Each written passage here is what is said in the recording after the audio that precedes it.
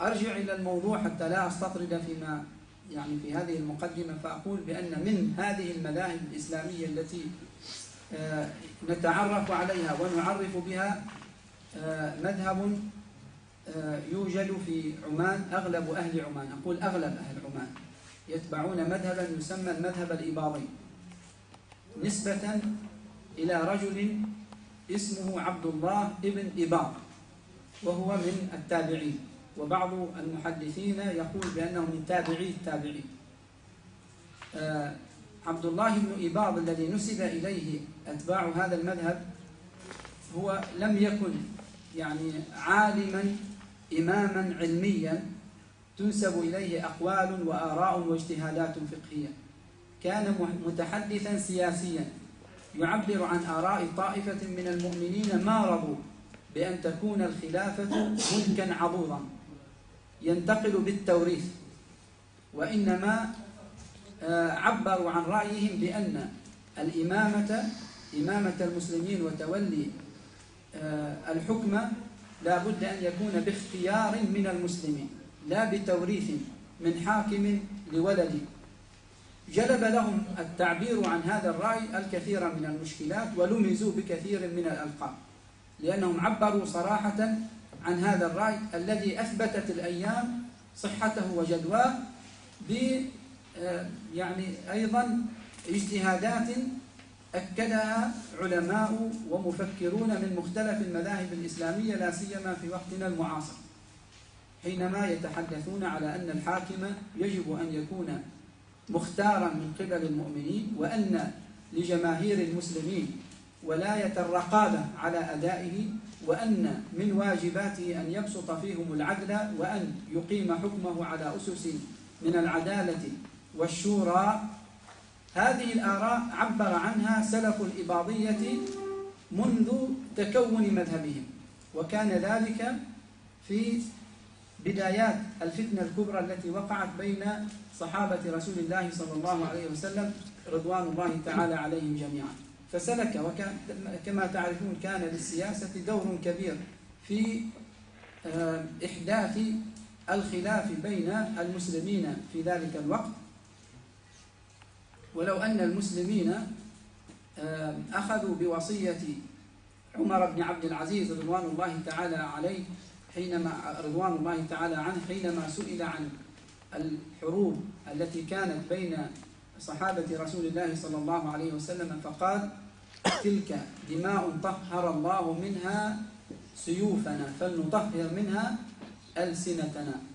فليتنا نحن نعي هذه الحكمة هذا الأثر البالغ في دلالته ومعناه فنلتزم بذلك اليوم. لكن نقول من باب التعريف هكذا كان. فضلا عن أيضا يعني من الآراء السياسية التي عبروا عنها عدم اشتراط القرشي في من يتولى أمر المسلمين وقالوا اسمعوا وأطيعوا أخذا بحديث رسول الله صلى الله عليه وسلم. اسمعوا وأطيعوا ولو تأمر عليكم عبد حبشي رأسه كالزبيبة فيعني أسقطوا شرط, شرط القرشية وهذا كان يعني سببا يزلزل أركان الحكام في ذلك الوقت الذين يعني جعلوا من الحكم من السلطة دولة بين بينهم وبين ذراريهم وأولادهم سواء كانوا مؤهلين يصلحون ملتزمين أو غير ذلك هذه قضية أخرى. لكن المبدأ نفسه هو مما عارض فيه سلف هذه سلف هذا المذهب. طبعا لا شك وافقهم كثير من يعني آه، كبار التابعين آه، لكن الذي عبر عن هذه الآراء كان هو هذا الرجل عبد الله بن إبان والسؤال بناء على ذلك إلى من تنسب الآراء الفقهية والاجتهادات الفكرية لهذا المذهب تنسب إلى تابعي شديد كبير مشهود له بالثقة والمنزلة الرفيعة في العلم والتقى وهو الإمام جابر بن زيد الأزدي وهو عماني سكن في البصرة. والروايات حول تاريخ ولادته مختلف فيها أكثر المحدثين يقولون بأنه ولد في السنة الثامنة عشرة للهجرة وتوفي على الراجح أيضا في سنة 93 هجرية مما يعني أنه من طبقة كبار التابعين التقى بكثير من أصحاب رسول الله صلى الله عليه وسلم الأوائل. حتى أنه قال عن نفسه التقيت سبعين بدريا فحويت ما عندهم ليس البحر وفي رواية إلا البحر يقصد ابن عباس أي لم أحوي ما عنده.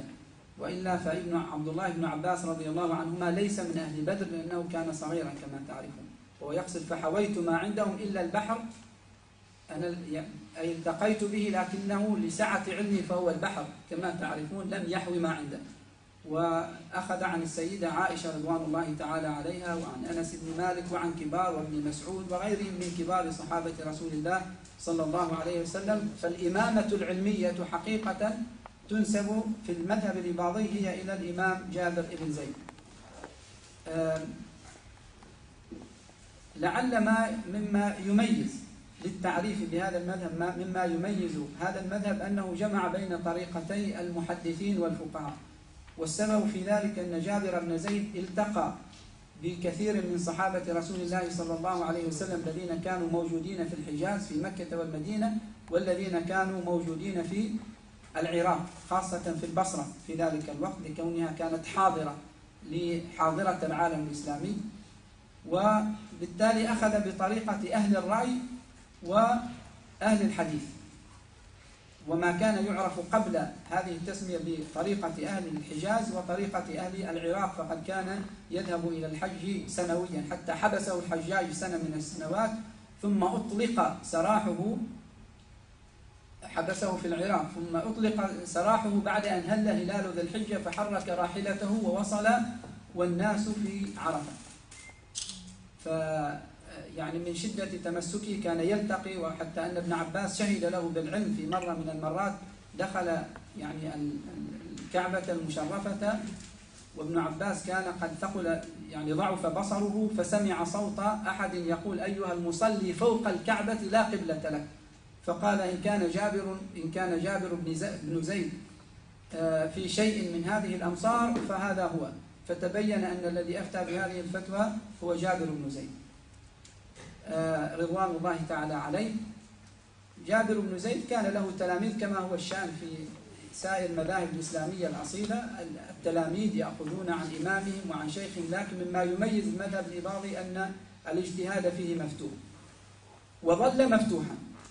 فالإمامة لا تعني تعني الاحترام والتقدير لكن لا تعني لا تعني الإمامة المطلقة التي تلزم التلاميذ والأتباع بالتقليد بتقليد الإمام أو بالاجتهاد في أصول الإمام لا. ولذلك كانت له آراء شاذة عدها جمهور علماء الإباضية من الآراء الشاذة التي لم يوافقوه عليها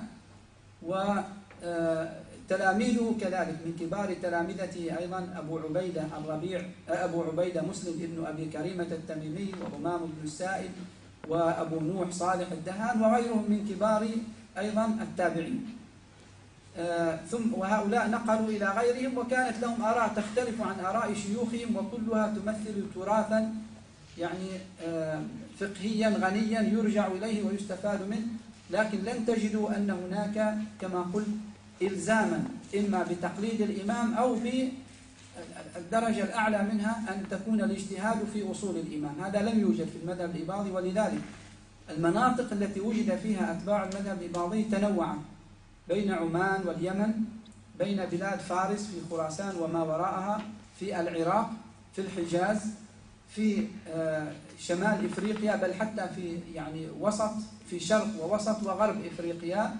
سواء كانوا آه، يعني بكثرة أو كانوا آه، بقلة يعيشون وسط إخوانهم من أتباع المذاهب الإسلامية الأخرى وما كانوا في يوم من الأيام سببا لإحداث فتن أو نزاعات أو نزاعات أو خصومات لأن المقدمة التي قلتها لكم أنا لم أبتدعها من عندي فيما يتصل ب يعني العلاقة بين المسلم وأخيه وأسس التعامل بين المسلمين وإنما هي مما يعني أقره المذهب الإباضي منذ نشأته.